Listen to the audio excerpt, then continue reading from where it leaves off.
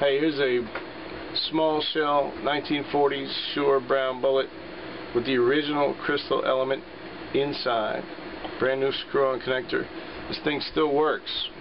It is not full strength, so I'm throwing in a replacement element, but turn your amp up, you still get that warm crystal tone. Check it out.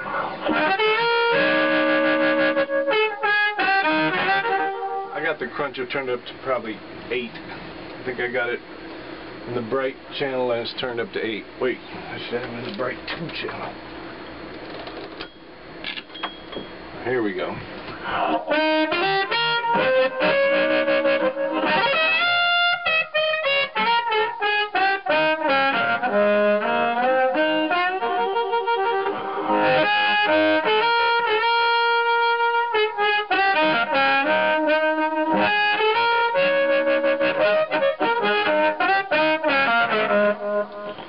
Well, this thing is not full strength, but it still sounds like that.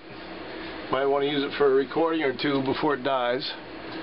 And then uh, throw in a controlled magnetic replacement element for when it inevitably passes on. So, anyway, it's a great shell. It's the smaller size, older Shure bullet shell.